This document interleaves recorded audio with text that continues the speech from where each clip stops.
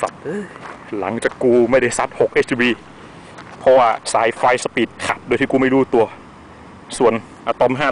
500 กระเสือกเป็นอะไรไม่รู้ กันหางไม่ได้ ต้องให้เตียดำเสร็จ กูเซ็งเคลียร์ๆกูจึงจับตัวสุดท้ายที่กูมีในตอนนี้ E-Max บ้านของโคตรปามึงอะ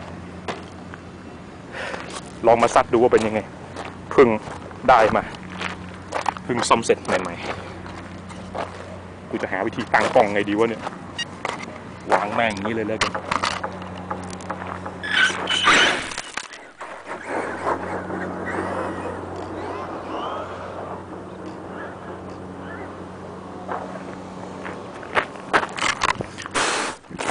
กูเกลียดที่สุด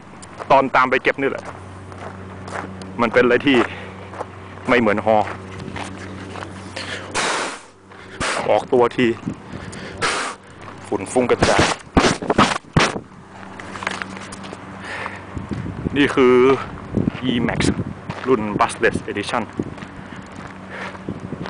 ซึ่งเป็นของเล่นชิ้นใหม่ของกู แล้วก็เป็นเครื่องมือทำอาหารแดกด้วย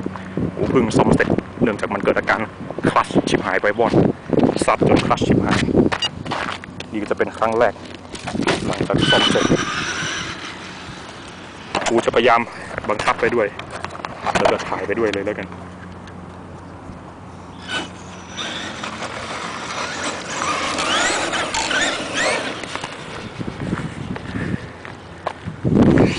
เหี้ยเอ้ยทำไม่ได้เว้ย มึงไม่มีบุญละ